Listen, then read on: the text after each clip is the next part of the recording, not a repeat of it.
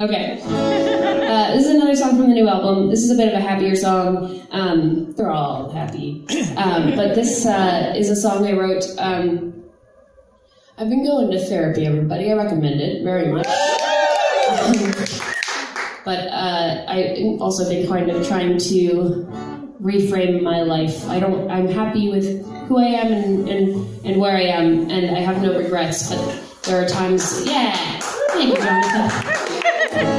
Uh, uh, but there are times in my life that were definitely uh, dark and unpleasant, and in the moment, I would definitely have not wanted to be there. Um, so this is a song I wrote reframing the end of high school, which was a big bummer in a lot of ways. Um, but if I think about the cool stuff I got out of it, um, which was accidentally sort of coming out as a, as bisexual, although I didn't realize it till way later, because that's a weird thing for people to understand.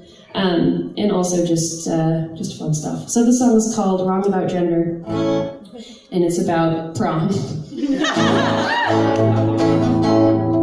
My prom was awesome. I have no regrets. Now that the Catholics all have empty nests, I can tell you honestly, it was all gay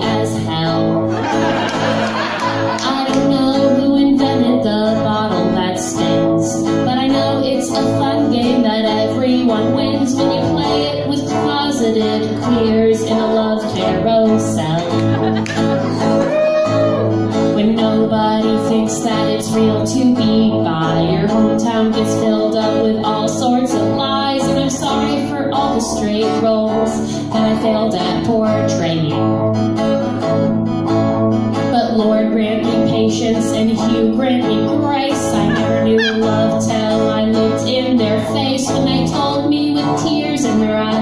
that this wasn't just playing. And that isn't what happened, but it's what I remember. Don't tell the host I don't want to offend her, but I've never felt stronger while loving so tender. And we tried real hard, but we were still wrong about gender.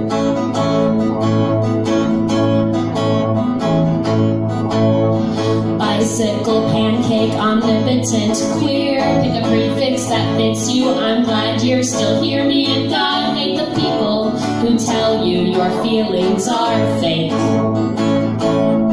Cause the first person who made me feel good to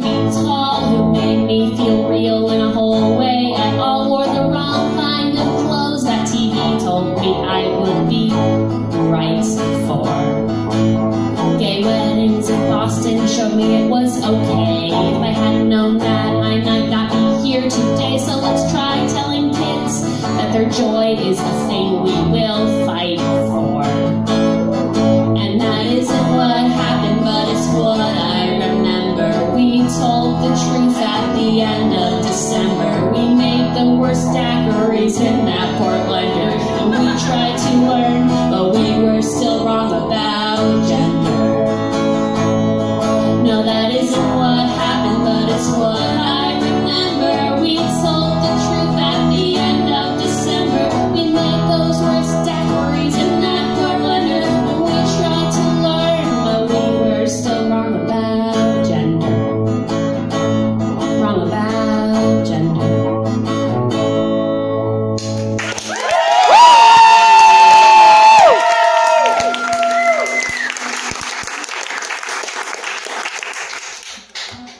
so happy to be here.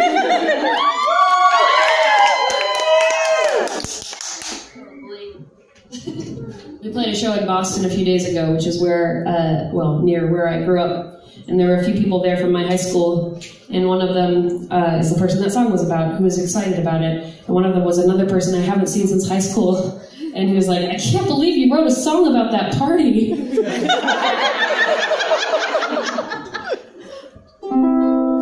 He didn't like it.